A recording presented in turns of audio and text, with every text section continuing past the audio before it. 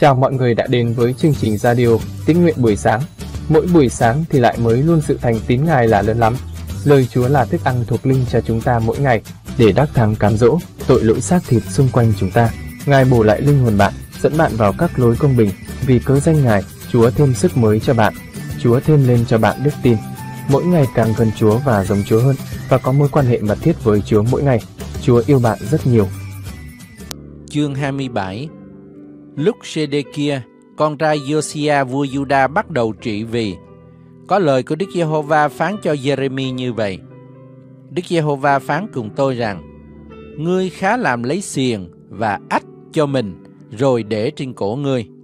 Đoạn hãy gửi cho vua Edom, vua Moab, vua của con cái Ammon, vua Tyre và vua Sidon, bởi tay các sứ thần đến thành Jerusalem chầu Sê-đê-kia vua Juda khá dặn họ tâu cùng chủ mình rằng Đức Giê-hô-va vạn quân Đức Chúa Trời của Israel phán như vậy Các ngươi hãy tâu cùng chủ mình rằng Chính ta là đấng đã làm nên đất, loài người và loài thú trên mặt đất.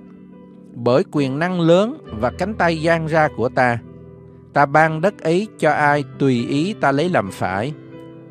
Bây giờ ta đã phó mọi đất này trong tay Nebuchadnezzar vua Babylon.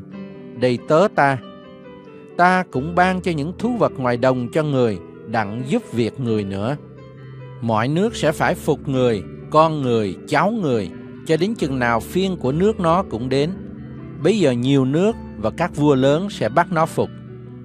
Nếu dân nào nước nào không hầu việc người, tức Nebuchadnezzar vua Babylon, và không trồng cổ mình vào ách của vua Babylon, thì Đức Giê-hô-va phán, ta sẽ dùng gươm dao đói kém dịch lệ mà phạt dân ấy, cho đến chừng nào ta đã diệt chúng nó đi bởi tay vua Nebuchadnezzar.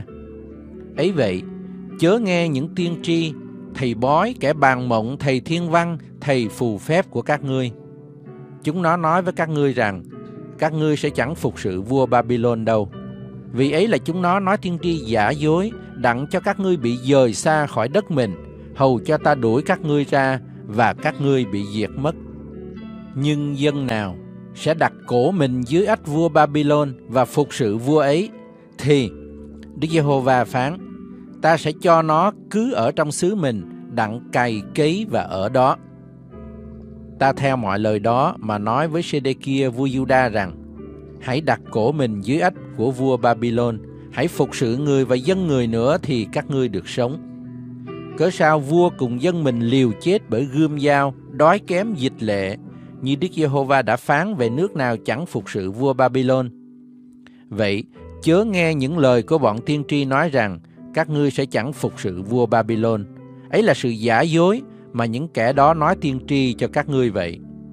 Đức Giê-hô-va phán, ta chẳng hề sai chúng nó, nhưng chúng nó nói tiên tri giả dối nhân danh ta, hầu cho ta đuổi các ngươi và các ngươi bị diệt mất, nghĩa là các ngươi với các tiên tri đã nói tiên tri cho các ngươi.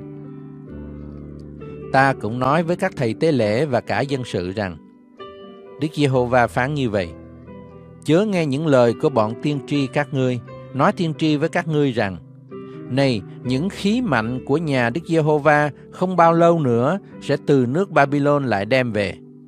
Ấy là chúng nó nói tiên tri giả dối với các ngươi Đừng nghe chúng nó. Hãy phục sự vua Babylon thì được sống. Sao để thành này biến nên hoang vu?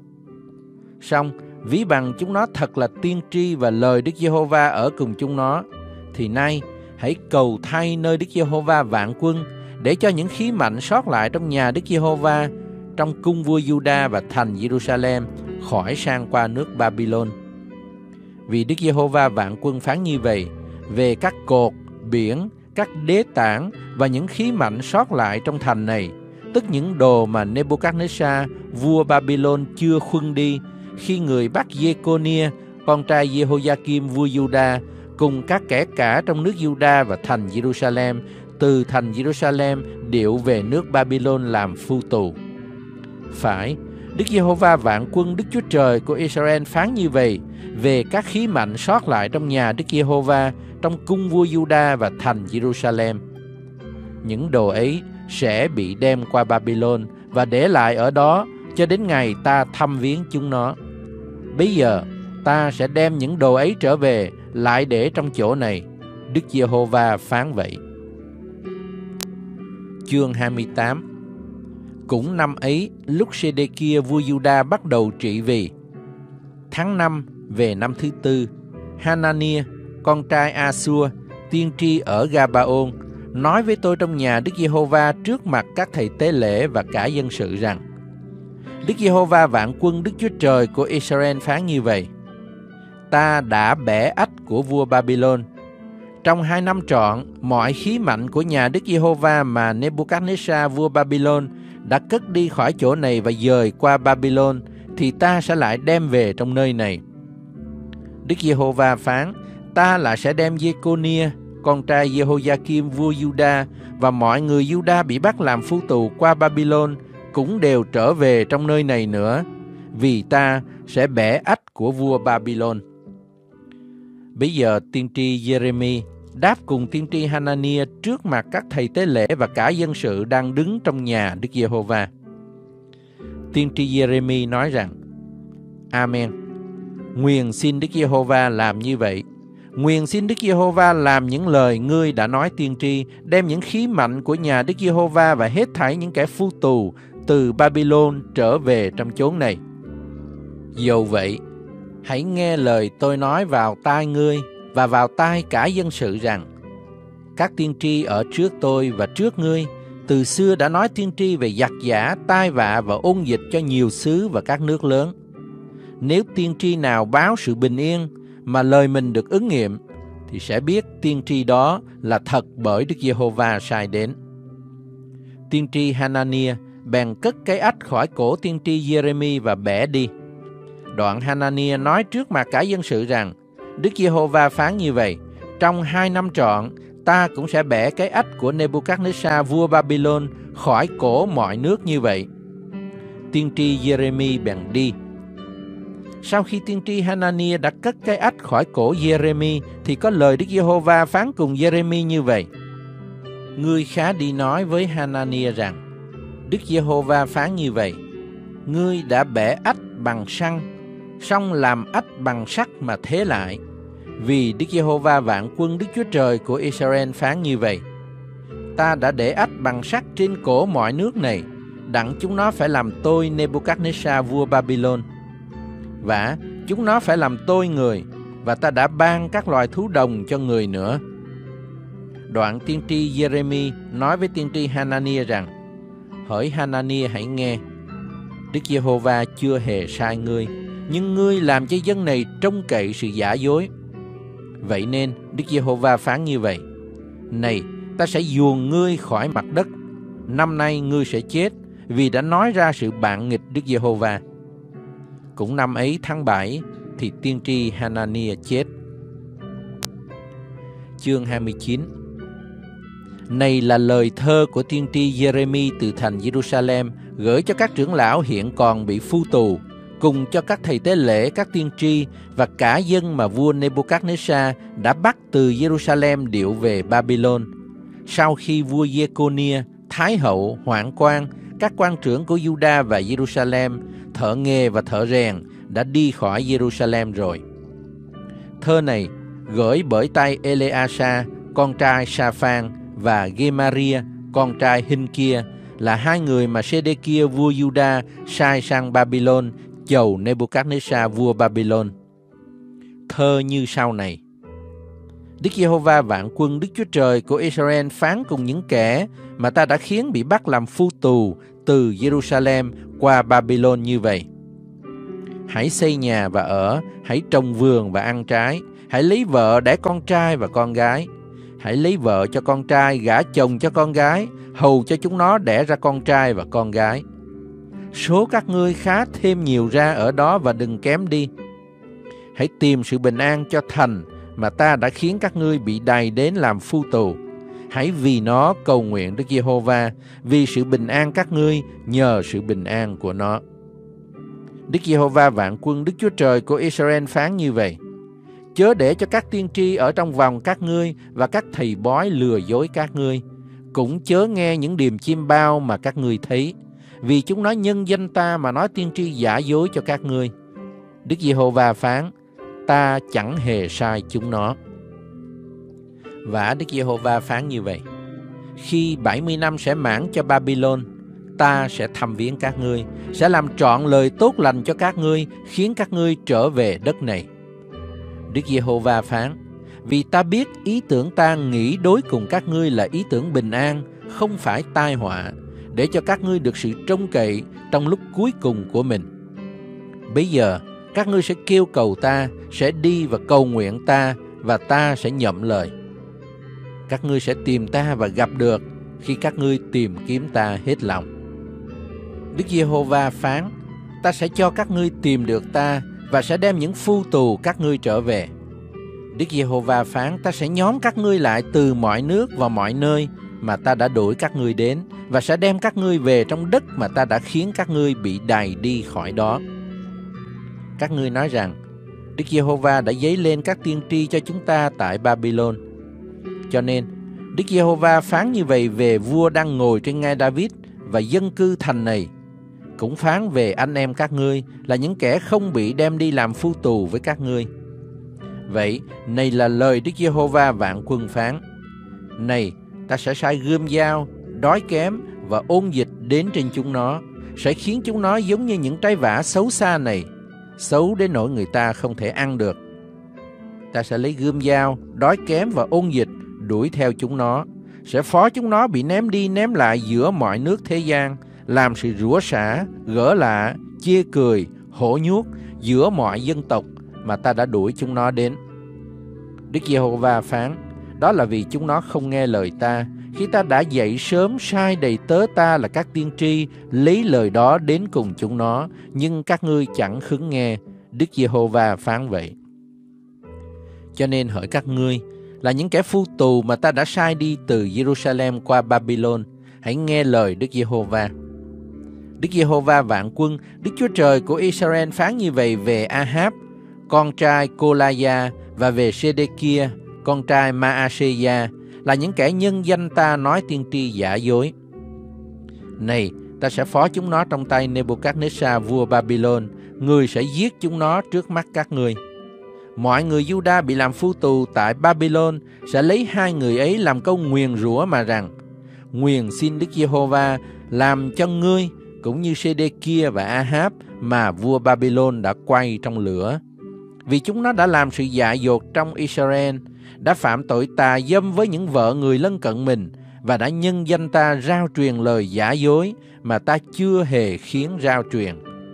Đức Giê-hô-va phán, ta là đấng biết và làm chứng. Ngươi cũng khá nói về Shemaya ở Nehelam rằng, Đức Giê-hô-va vạn quân Đức Chúa Trời của Israel phán như vậy. Ngươi đã lấy danh mình, gửi thơ cho cả dân cư Jerusalem, cho Sophoni, con trai Maaseiah làm thầy tế lễ, và cho mọi thầy tế lễ rằng, Đức Giê-hô-va đã lập ngươi làm thầy tế lễ thay cho Giê-hô-gia-đa là thầy tế lễ, đặng có người coi sóc trong nhà Đức Giê-hô-va. Hễ người nào điên dại xưng mình là tiên tri thì bắt lấy cùm và gông lại. Vậy thì, làm sao ngươi không trách Jeremy ở Anatot là người xưng mình là tiên tri cho các ngươi giường ấy? Và chính nó đã gửi lời đến Babylon nói cùng chúng ta rằng sự bị phu tù còn lâu ngày, hãy xây nhà và ở, hãy trồng vườn và ăn trái. Thầy tế lễ Sophoni đã đọc thơ này vào tai tiên tri Jeremy. Bây giờ có lời Đức Giê-hô-va phán cùng Jeremy rằng: Hãy sai nói điều này cho mọi kẻ bị phu tù rằng: Đức Giê-hô-va phán về Shemaya ở Nehelam như vậy: Vì Shemaya đã nói tiên tri cho các ngươi mà ta chưa hề sai nó và nó đã làm cho các ngươi nhờ cậy sự giả dối. Nên Đức Giê-hô-va phán như vậy: Này, ta sẽ phạt Shemaya người Nehelam và dòng dõi nó nữa. Về dòng nó, sẽ chẳng còn có ai được còn ở giữa dân này. Chính mình nó cũng sẽ chẳng thấy sự lành ta sẽ làm cho dân ta, vì nó đã nói ra sự bạn nghịch Đức Giê-hô-va. Đức Giê-hô-va phán vậy. Chương 8 Đại ý điều chúng ta mới nói đó là chúng ta có một thầy tế lễ thượng phẩm ngồi bên hữu ngai của đấng tôn nghiêm trong các tầng trời, làm chức việc nơi thánh và đền tạm thật bởi Chúa dựng lên, không phải bởi một người nào phàm thầy tế lễ thượng phẩm đã được lập lên là để dâng lễ vật và hy sinh. Vậy thì đấng này cũng cần phải dâng vật gì? Nếu Ngài còn ở thế gian thì Ngài chẳng phải là thầy tế lễ, vì ở thế gian có những thầy tế lễ dâng lễ vật theo luật pháp dạy và giữ sự thờ phượng. Sự thờ phượng đó chẳng qua là hình và bóng của những sự trên trời mà thôi. Cũng như khi môi xe gần dựng đền tạm thì Đức Chúa Trời phán bảo rằng Hãy cẩn thận làm mọi việc theo như kiểu mẫu đã chỉ cho ngươi tại trên núi. Nhưng thầy tế lễ thượng phẩm chúng ta đã được một chức vụ rất tôn trọng hơn vì Ngài là đấng trung bảo của giao ước tốt hơn, mà giao ước ấy lập lên trên lời hứa tốt hơn. Vì nếu ước thứ nhất không thiếu gì, thì chẳng có chỗ nào lập ước thứ hai. Và trong những lời này thật có ý trách là lời Đức Chúa Trời phán cùng dân Juda rằng Chúa phán, kìa nhật kỳ đến, khi đó ta sẽ cùng nhà Israel và nhà Juda lập một ước mới, không phải như ước ta đã lập với tổ tiên chúng nó, trong ngày ta cầm tay họ dẫn ra khỏi xứ Egypto, vì họ không bền giữ lời ước ta, nên ta không đói xem họ. Ấy là lời Chúa phán. Chúa lại phán, này là lời ước mà ta sẽ lập với nhà Israel. Sau những ngày đó, ta sẽ để luật pháp ta trong trí họ và ghi tạc vào lòng. Ta sẽ làm Đức Chúa Trời họ, họ sẽ làm dân ta. Trong vòng họ sẽ chẳng có ai dạy bảo công dân mình và anh em mình rằng hãy nhìn biết Chúa. Vì hết thảy trong vòng họ, từ kẻ rất nhỏ cho đến kẻ rất lớn, đều sẽ biết ta. Nhưng ta sẽ tha sự gian ác của họ và không nhớ đến tội lỗi họ nữa. Gọi ước đó là mới, thì đã xưng ước trước là cũ. Và điều chi đã cũ đã già thì gần tiêu mất đi. Chương 9 Ước trước cũng có những luật về việc thờ phượng và một nơi thánh dưới đất. Và một đền tạm đã dựng lên. Phần thứ nhất gọi là nơi thánh, có chân đèn, bàn và bánh bày ra. Rồi đến phía trong màn thứ hai, tức là phần gọi là nơi rất thánh, có lư hương bằng vàng và hòm gia ước, toàn bọc bằng vàng. Trong hòm có một cái bình bằng vàng đựng đầy mana, cây gậy trổ hoa của Aaron và hai bản giao ước. Phía trên có hai cherubin vinh hiển bóng nó che phủ nơi chuộc tội. Nhưng đây không phải dịp kể các điều đó cho rõ ràng. Các vật đã sắp đặt như vậy. Hằng ngày, những thầy tế lễ vào phần thứ nhất trong đền tạm đặng làm trọn việc tế lễ. Nhưng phần thứ hai thì mỗi năm một lần, chỉ một mình thầy tế lễ thượng phẩm vào. Chẳng bao giờ mà không đem huyết dân vì chính mình và vì sự lầm lỗi dân chúng. Đức Thánh Linh lấy đó chỉ ra rằng, hễ đền tạm thứ nhất đương còn, thì đường vào nơi rất thánh chưa mở. Ấy là một hình bóng chỉ về đời bây giờ, để tỏ rằng các lễ vật và hy sinh dân đó không có thể làm cho kẻ thờ phượng được vẹn lành về lương tâm. Đó chẳng qua là mạng lệnh của xác thịt cũng như các lễ ăn, uống, rửa sạch chỉ lập cho đến kỳ hoán cải vậy. Nhưng Đấng Christ đã hiện đến làm thầy tế lễ thượng phẩm của những sự tốt lành sau này. Ngài đã vượt qua đền tạm lớn hơn và trọn vẹn hơn, không phải tay người dựng ra, nghĩa là không thuộc về đời này. Ngài đã vào nơi rất thánh một lần thì đủ hết, không dùng huyết của dê đực và của bò con, nhưng dùng chính huyết mình mà được sự chuộc tội đời đời. Và nếu huyết của dê đực, bò đực cùng cho bò cái tơ mà người ta rưới trên kẻ ô uế còn làm sạch được phần xác thịt họ và nên thánh thay. Huống chi, huyết của Đấng Christ là đấng nhờ Đức Thánh Linh đời đời. Dân chính mình không tỳ tích cho Đức Chúa Trời, thì sẽ làm sạch lương tâm anh em khỏi công việc chết, đặng hầu việc Đức Chúa Trời hằng sống là giường nào. Nhưng đó, Ngài là đấng trung bảo của giao ước mới, để khi Ngài chịu chết mà chuộc tội đã phạm dưới giao ước cũ, thì những kẻ được kêu gọi nhận lãnh cơ nghiệp đời đời đã hứa cho mình. Vì khi có chút thơ thì cần phải đợi đến kẻ trối chết đã. Chúc thơ chỉ có giá trị sau lúc chết, vì hệ kẻ trối còn sống thì nó không có quyền gì. Ấy vậy, chính giao ước trước nào chẳng phải là không dùng máu mà lập. Lúc Môi-se phán mọi điều răn của luật pháp cho dân chúng, có lấy máu của bò con và dê đực với nước dây nhung đỏ tía và ngành ngưu tất rải trên sách cùng trên cả dân chúng mà nói rằng này là huyết của sự giao ước mà Đức Chúa Trời đã dạy lập với các ngươi. Đoạn, người cũng lấy huyết ấy rải đền tạm cùng mọi đồ thờ. Theo luật pháp thì hầu hết mọi vật đều nhờ huyết mà được sạch. Không đổ huyết thì không có sự tha thứ. Vậy, nếu những tượng chỉ về các vật trên trời đã phải nhờ cách ấy mà được sạch, thì chính các vật trên trời phải nhờ của lễ càng quý trọng hơn nữa để được sạch. Và Đấng Christ chẳng phải vào nơi thánh bởi tay người làm ra, theo kiểu mẫu nơi thánh thật, bèn là vào chính trong trời, để bây giờ vì chúng ta hiện ra trước mặt Đức Chúa Trời. Ấy chẳng phải là dân chính mình Ngài nhiều lần như thầy tế lễ thượng phẩm mỗi năm vào trong nơi rất thánh mà dân huyết không phải là huyết mình. Bằng chẳng vậy thì từ buổi sáng thế đến nay Ngài đã phải chịu khổ nhiều lần rồi. Nhưng hiện nay đến cuối cùng các thời đại, Ngài đã hiện ra chỉ một lần, dân mình làm tế lễ để cất tội lỗi đi. Theo như đã định cho loài người phải chết một lần rồi chịu phán xét. Cũng vậy, Đấng Christ đã dân mình chỉ một lần đặng cất tội lỗi của nhiều người. Ngài lại sẽ hiện ra lần thứ hai, không phải để cất tội đi nữa, nhưng để ban sự cứu rỗi cho kẻ chờ đợi Ngài. Chương 10 Và luật pháp chỉ là bóng của sự tốt lành ngày sau, không có hình thật của các vật, nên không bao giờ cậy tế lễ mỗi năm hằng dân như vậy mà khiến kẻ đến gần Đức Chúa Trời trở nên trọn lành được. Nếu được thì những kẻ thờ phượng đã một lần được sạch rồi, lương tâm họ không còn biết tội nữa. Nhưng đó há chẳng thôi dân tế lễ hay sao? Trái lại, những tế lễ đó chẳng qua là mỗi năm nhắc cho nhớ lại tội lỗi. Vì huyết của bò đực và dê đực không thể cất tội lỗi đi được.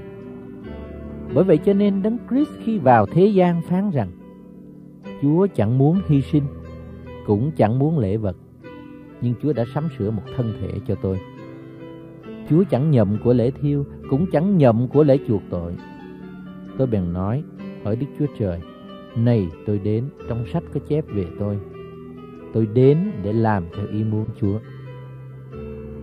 Trước đã nói, Chúa chẳng muốn, chẳng nhậm những hy sinh lễ vật của lễ thiêu, của lễ chuộc tội. Đó là theo luật pháp dạy. Sao lại nói, đây này, tôi đến để làm theo ý muốn Chúa. Vậy thì Chúa đã bỏ điều trước, đặng lập điều sau.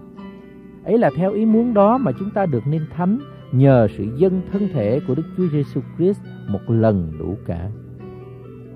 Phàm thầy tế lễ mỗi ngày đứng hầu việc và năng dân của lễ đồng một thức là của lễ không bao giờ cất tội lỗi đi được.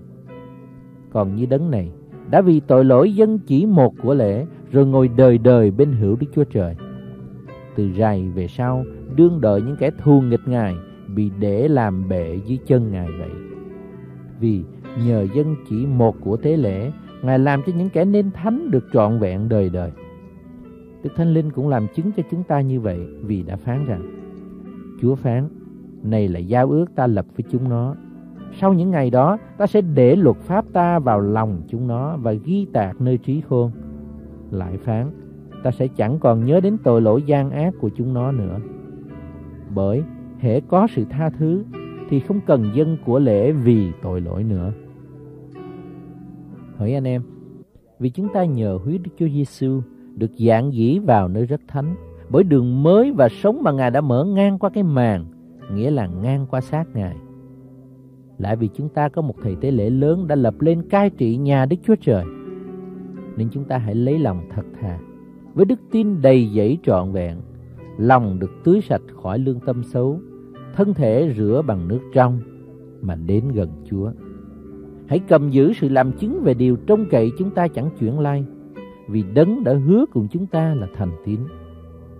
Ai nấy hãy coi sóc nhau để khuyên dục về lòng yêu thương và việc tốt lành. Chớ bỏ sự nhóm lại như mấy kẻ quen làm, nhưng phải khuyên bảo nhau. Và hễ anh em thấy ngày ấy hầu gần chừng nào, thì càng phải làm như vậy chừng ấy.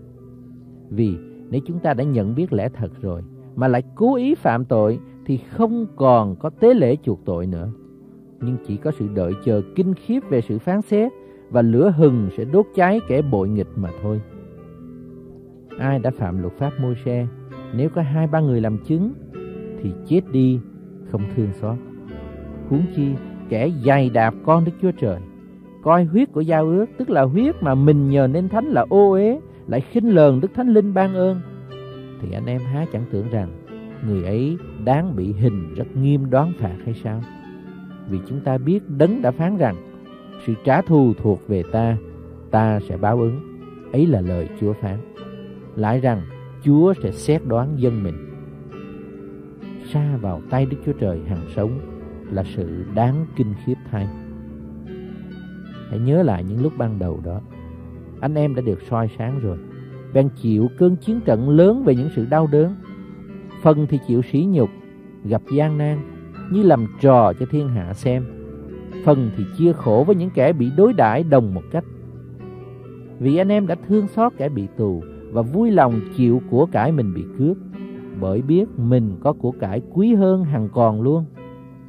Vậy, chớ bỏ lòng dạng dĩ mình, vốn có một phần thưởng lớn đã để dành cho vì anh em cần phải nhịn nhục hầu cho khi đã làm theo ý muốn Đức Chúa Trời rồi thì được như lời đã hứa cho mình. Còn ít lâu, thật ít lâu nữa thì đấng đến sẽ đến, Ngài không chậm trễ đâu. Người công bình của ta sẽ cậy đức tin mà sống. Nhưng nếu lui đi thì linh hồn ta chẳng lấy làm đẹp chút nào. Về phần chúng ta, nào phải là kẻ lui đi cho hư mất đâu, bèn là kẻ giữ đức tin cho linh hồn được cứu rỗi. Thi Thiên 70 Đức Chúa Trời ơi, xin mau mau giải cứu tôi. Đức Giê-hô-va ơi, xin mau mau giúp đỡ tôi.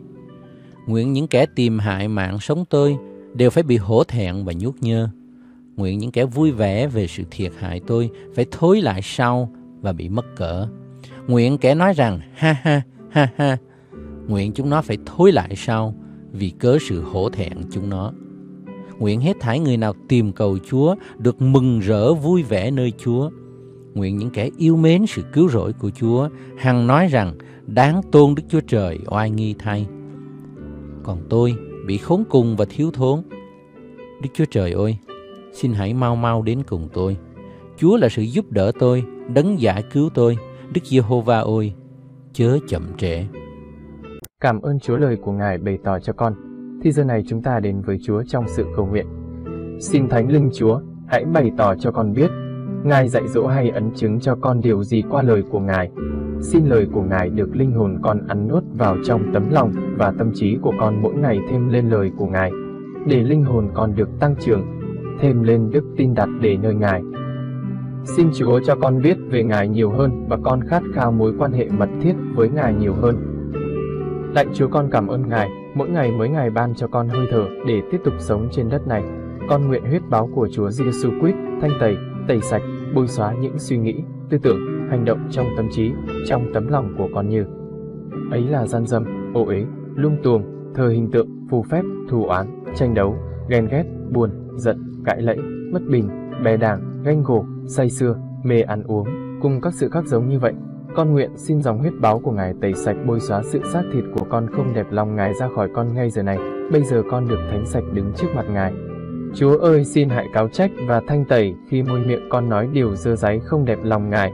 Xin Chúa hãy thêm sức và hướng dẫn con ăn, hoặc uống, hay là làm sự chi khác, hãy vì sự vinh hiển Đức Chúa Trời mà làm.